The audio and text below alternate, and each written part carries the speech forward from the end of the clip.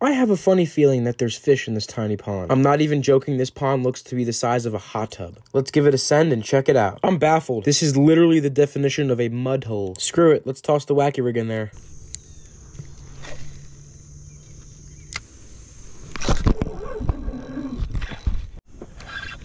That's a good fish.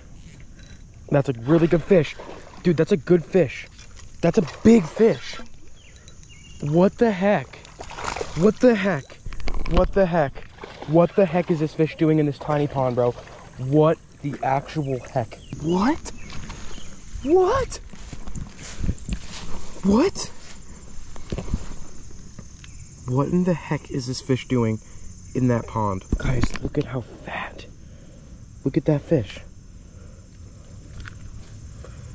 That fish out of that tiny little pond, yo. Literal stud out of this pond. Hey, buddy.